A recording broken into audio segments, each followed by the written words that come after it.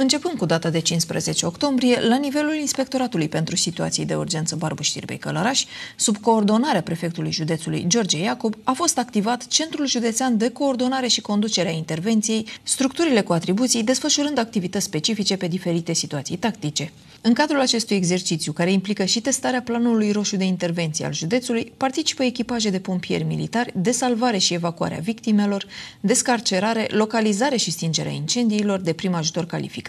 de intervenție la dezastre colective, suport logistic, dar și echipaje din cadrul structurilor cu funcții de sprijin privind intervenția unitară în situație de urgență. Prin acest exercițiu se urmărește dezvoltarea capacității de interoperabilitate în sistemul integrat, optimizarea și asigurarea managementului în cazul producerii unui seism de către componentele Sistemului Național de Management în situații de urgență, evaluarea capacității de răspuns a structurilor implicate în conducerea, organizarea, coordonarea și desfășurarea activităților de intervenție în cazul producerii unor astfel de situații de urgență, verificarea modului de anunțare, alertare și intervenția structurilor cu atribuții în cazul producerii situațiilor de urgență generate de un cutremur,